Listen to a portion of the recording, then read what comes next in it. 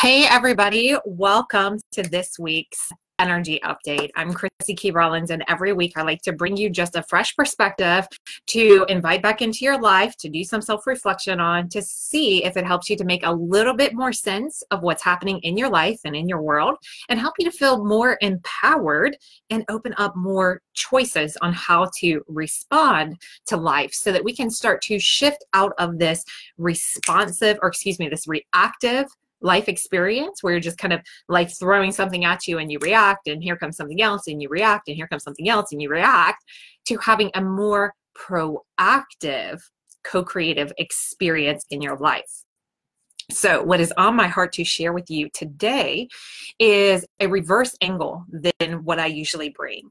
So, for the past, well, for the past few months, we've been wrapping, ramping up to this moment in time right here, right now that is upon us. We have moved through the Lion's Gate, which I talked about last week. So we are starting to have some clarity come into place, some confusion clear out, and things are starting to fall into place. Or they are not. Let me explain this just a little bit more.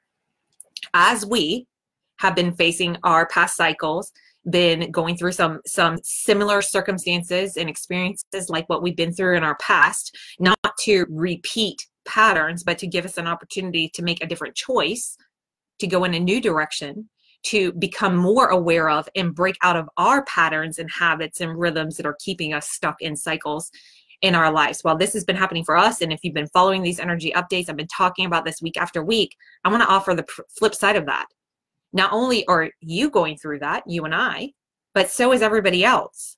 So as you are interacting with people, if you're like, okay, Crissy, I have been gaining more clarity, things have been falling into place more easily for me, but people around me are just freaking out understand that it's not just you that are given the opportunity to break habits and cycles, but so is everybody else.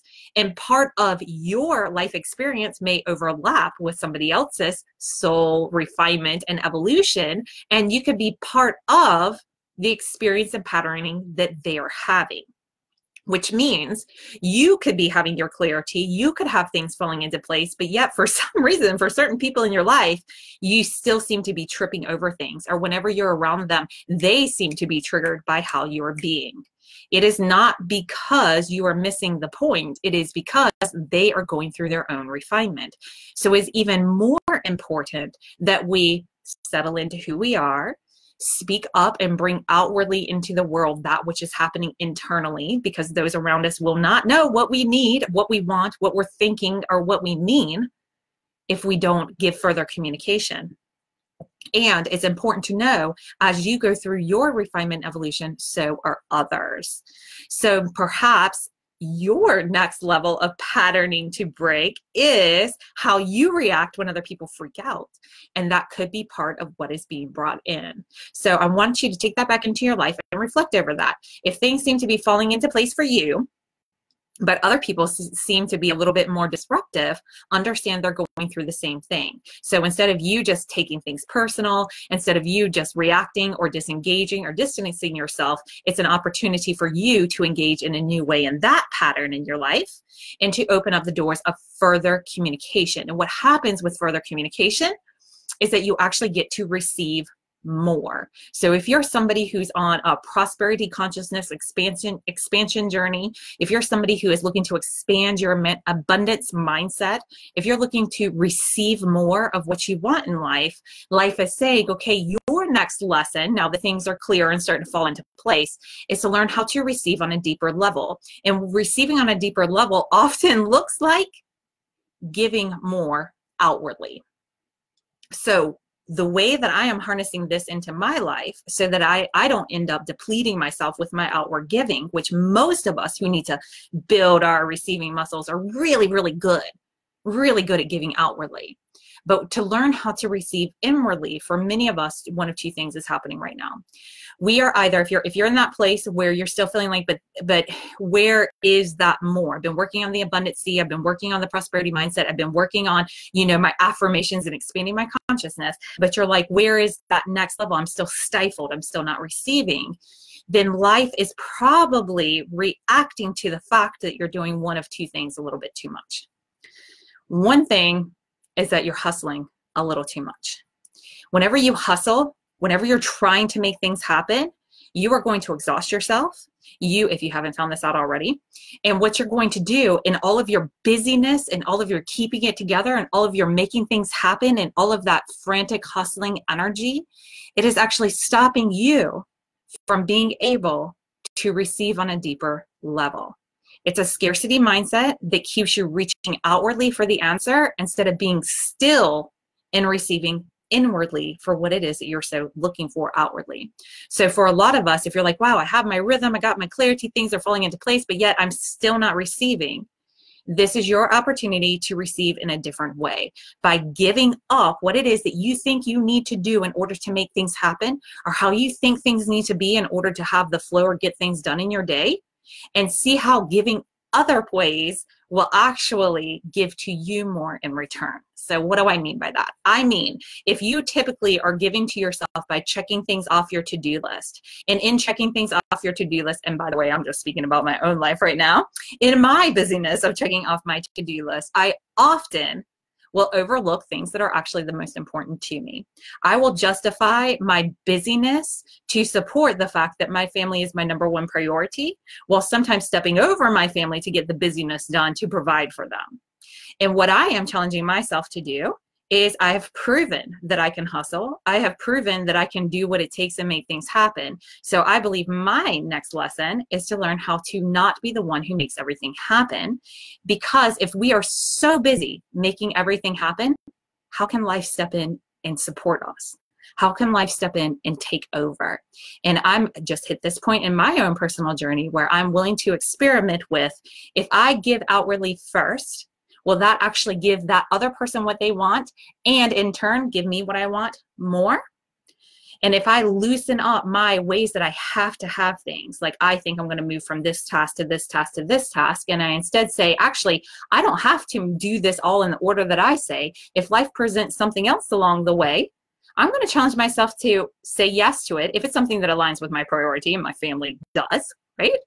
I'm going to challenge myself. If I give in this direction, if I give three minutes of playing Legos and take a three minute break from what it is that I'm doing, in the end, will I still accomplish what I'm doing and also truly honor my first priority, which is my family? This is what I'm experimenting in your life, and I share it with you. This is what I'm experimenting about in my life, and I share it with you to give you a practical, tangible perspective to bring back into your own life the takeaway that I'd love for you to have for today is if that clarity isn't happening for you, we're going to flip this around. What happens whenever the energy is right for a bunch of clarity is that if you're still feeling your your way to your knowingness, it's not going to feel like more clarity. That energy that supports more clarity is actually going to have a little bit more shadowed effect on you. So you're in one of two you're in a couple of places right now one of a couple places.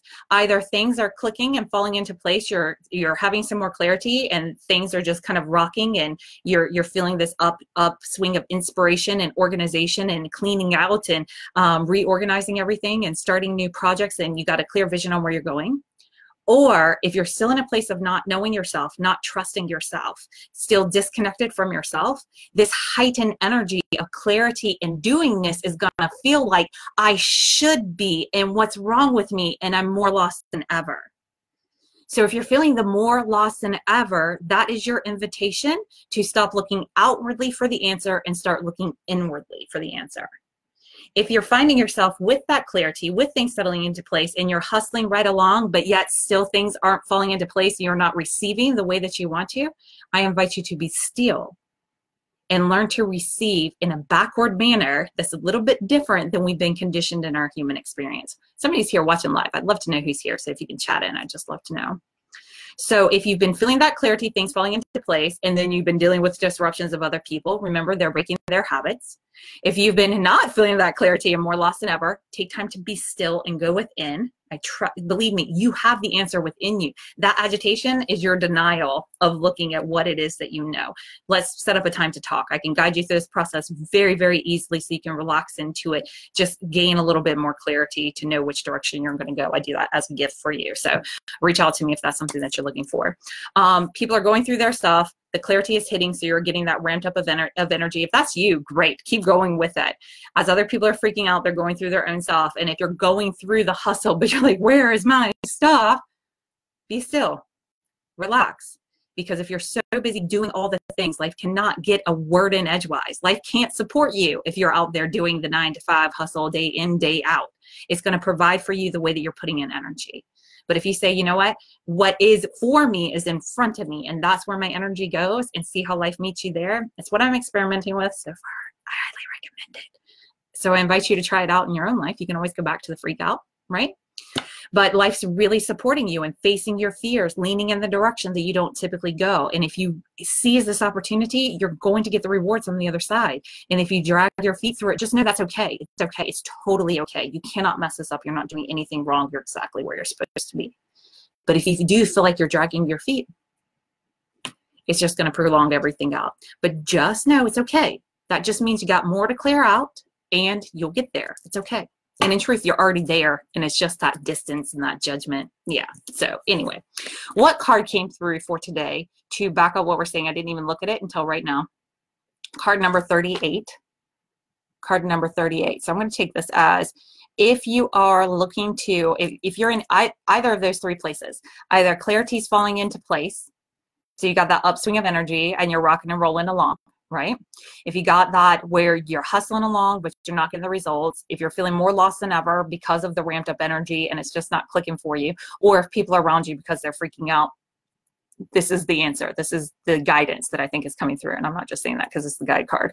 It's card number 38 is guide, and the message on it is a guide, mentor, a trustworthy ally.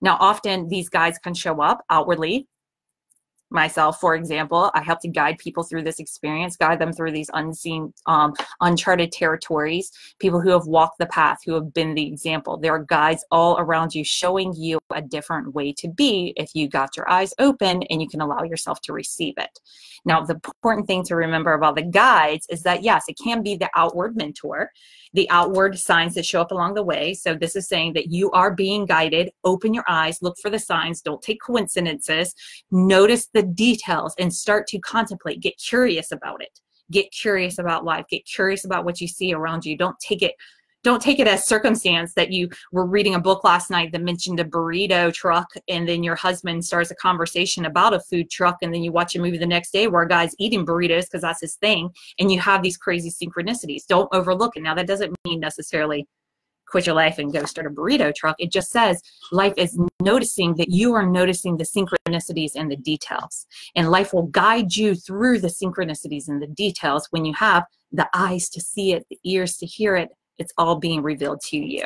So look for those messages, look for those guides, look to connect with those guides, and also remember, guide yourself through this journey. Pay attention to what's coming up on the inside and learn how to be your own navigational guide. Happens to be in my wheelhouse, my zone of genius, what my daily conversation is in and out, which is why I bring you these weekly updates. So if I can be a guide for you, reach out and connect. If you want to guide further with these gorgeous mermaid oracle cards, join me over in the Conscious Success community here on Facebook or over on Facebook if you're watching this on my YouTube channel.